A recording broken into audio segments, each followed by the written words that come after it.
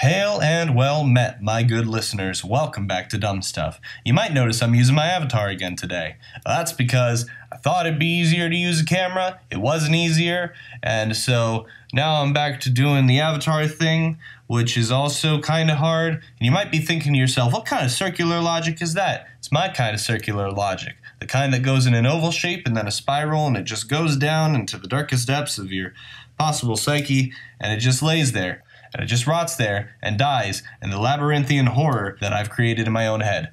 Today we're talking about Dungeons and Dragons. Uh, Dungeons and Dragons is pretty cool. It's about it's about it's about whatever you want it to be because your DM that is your dungeon master he makes up a story and he sets up all these events and stuff or she whatever I ain't like that uh, and you you get to play through the story and those events and you get to do whatever you want. You make your own character, and you can be like a wizard or a warrior, or you can be a, a, a other thing that doesn't matter because nothing ever matters besides wizards and warriors.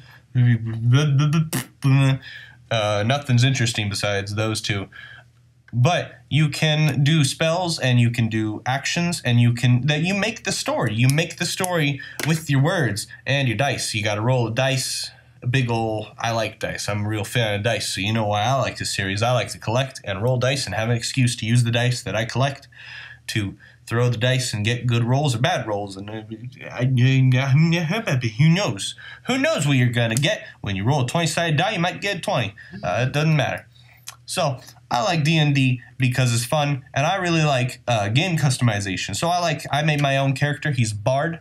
He's an elf bard and he's he's pretty cool. He's got his own little backstory and stuff where he was like he was uh, he was he was rich and now he's not. Now he just wants to be an adventurer and he's excited to go on adventures because I'm excited to go on adventures. He's me. It's a self-insert character and I am a sad human being.